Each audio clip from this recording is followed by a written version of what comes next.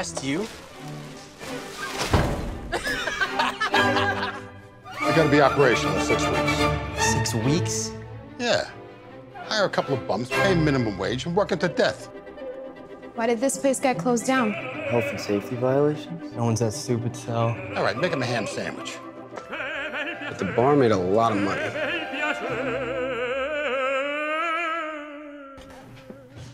Say Grace. I'm Pregnant. You okay, kid? Ah, bravo Figaro, bravo bravissimo, ah, bravo Figaro, bravo bravissimo, ah, fortuna, che fortuna, che fortuna non mancherà. La la la la la la la la la la la la la la la la la la la la. Ah, fortuna, che fortuna, che fortuna non mancherà. Sono e fatto tutte la You, you can't break up the band, Manny. I'm not breaking up the band.